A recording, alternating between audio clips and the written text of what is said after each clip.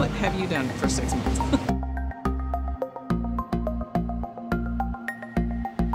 Exciting times at the grocery store. Hey guys, so I'm at the Kroger's, Kroger's, Kroger's, as my mom and dad say, and celebrating because six months without any meat.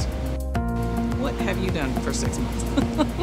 straight, straight. I'm so happy.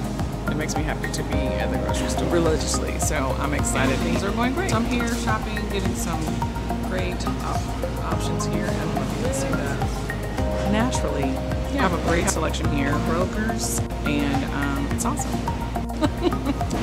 These are the meats, meats, meats. Vegan, veggie meat. I was talking about. At Kroger. Krogers, Krogers. I'm so happy. It makes me happy to be at the grocery store religiously. So I'm excited to eat. Yay. months is a long time to stop doing something that you've done your whole, whole, whole It- life. Not it- cheat. Not cheat. I did not cheat at all. I didn't do.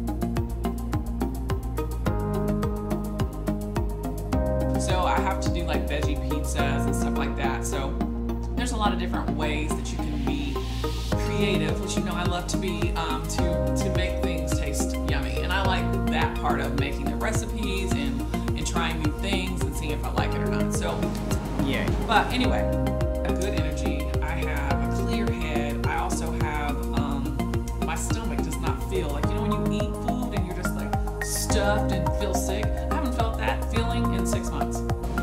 Yay. Yay. Legit six months without feeling like gross. Gross. and I don't like. I think that that's what makes me not want to just be like, oh, I did for six months. Let me grab a burger.